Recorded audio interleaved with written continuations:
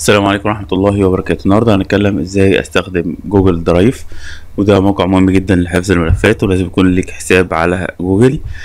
في إن أنا آه، أشتغل شغل Revit بين أكتر من جهاز بين أكثر من بلد آم، يعني المفروض بنوصل network. طب لو أنا عايز أوصله من خلال الإنترنت بنستخدم الطريقة ديت.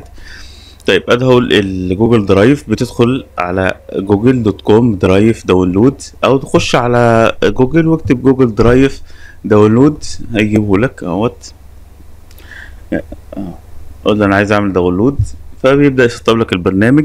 البرنامج فكرته إن هو ياخد جزء من المساحه يحط فيها الملفات.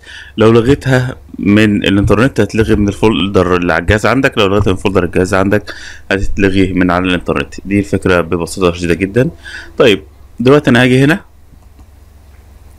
العلامه بتاعة جوجل درايف وهقول له أنا عايز أخش في الخصائص بتاعتها preference هو عادة بيسطب نفسه على ال C. هي في بس مشكلة بسيطة آه أنا عايز المسار كله فيه ال Revit يكون مشترك مش شوش أي اختلاف. لأن أنت مثلا عملت على F ممكن واحد تاني ما عندوش F ممكن لو أنت سطبته على My Document اسم ال user بيختلف فده بيغير المعلومات. فمتبقاش المعلومات إيه آه المسار بيبقى مختلف. فأنا مش عايز القصة دي فأنا هاجي في preference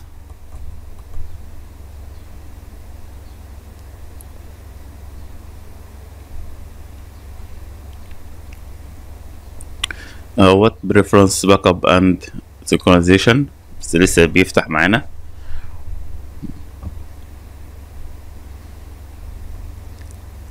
وهضيف folder يكون المسار بتاعه مفهوش أي اختلاف من جهاز لجهاز. يعني انت هنا قلت له دوت ال F ممكن واحد ما يكونش عنده F طب لو قلت له ال picture هتلاقيه معمول باسم ال user بتاعك. طيب ال desktop هتلاقيه مختلف. طيب ممكن أجي أقول له choose folder واقول له اعمل لي folder على ال C مثلا. اعمل folder هنا وأسميه Revit تمام؟ وأقول له select folder تمام؟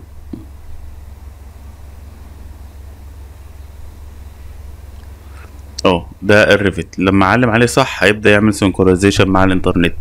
ولو كل واحد من الفريق سطب وعمل Revit على ال C خلاص مبقاش كده في أي اختلاف خالص. طيب لما أجي أعمل الملف لو دخلت مثلا على ال Revit هبدأ ملف جديد خالص file new project وهقول له أنا عايز بال template دوت أعمل ملف.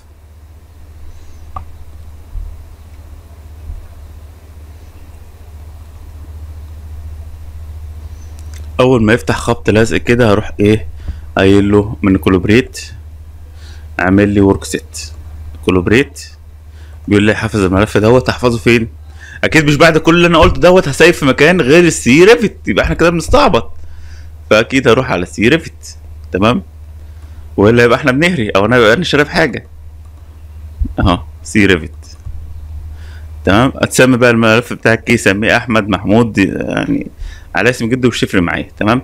خلي بالك أنا دخلت هنا في ال option. هو لغاية دلوقتي لسه الملف ده مش central model تمام؟ فأنا بس هسيفه كده وبعد كده لما يبقى central model نبدأ ندخل في الخطوه التانية هيبقى central model لما يكون في workset هو كده بيسيفه كملف local عادي بلدي يعني.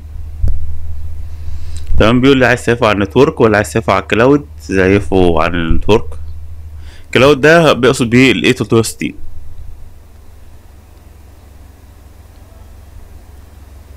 ف 360 لازم يكون ليك حساب على Autodesk وبفلوس وحاجات زي كده. تمام؟ هو كده عمل لك هو workset و shared level and grid okay كل اللي أنا بعمله بقى أقول له save خلي بالك لما save المرة دي بقى عندك workset فلازم يبقى سنترال فهيحوله لي ل central central معناها بعد كده هبقى أعمل synchronization يروح واخد المعلومات اللي عندي حاططها على ال server والمعلومات اللي ال server جابها عندي. خلي بالك دي اتفعلت ودي اتقفلت. طيب. لما أجي بعد كده اشتغل على ملف ال Revit ده اعمل إيه؟ كل اللي أنا اعمله هقول له file open من اي جهاز بقى؟ يعني كلنا سطبنا وعملنا السي Revit راح جاي كده على project 1 دوت واعلم create new local يبقى أنا شغال هنا وصاحبي شغال في الصين وواحد تاني شغال في مصر. الله يعينه. والله عنا جميعا يعني ونبدأ كلنا نعمل سنكرونايزيشن وكلنا نشتغل. ولو عندك النت سريع هتدعي لي لو النت بطيء على شركه الاتصالات